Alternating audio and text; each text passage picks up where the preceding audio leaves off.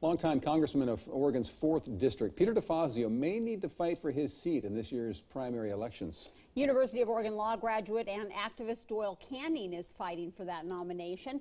In our Your Voice, Your Vote coverage tonight, KEZI 9 News reporter Chris Lewinberg spoke to her about why she thinks she would be a good fit for the job.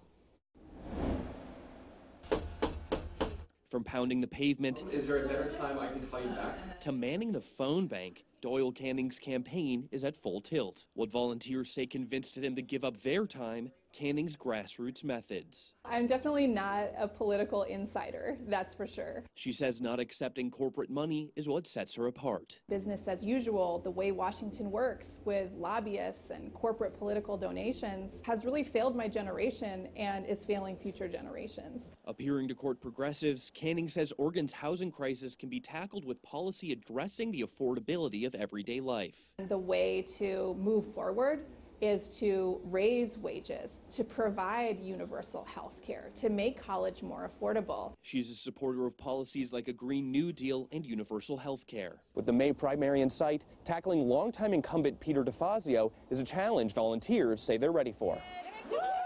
Stephen Kiernan says this is the first political campaign he's ever donated time to. I really like the uh, like kind of like underdog, scrappy nature of it. You know, we don't have like dozens of people out supporting us um, helping us canvass yet.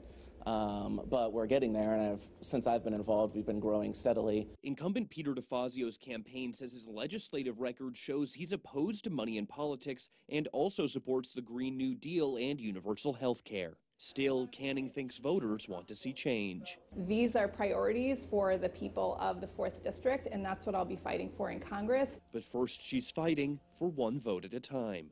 Reporting in Eugene, I'm Chris Lewinberg, KEZI 9 News. Now, Canning isn't the only Democratic candidate challenging DeFazio. Eugene psychologist and mental health advocate Cassidy Clausen is also in the race.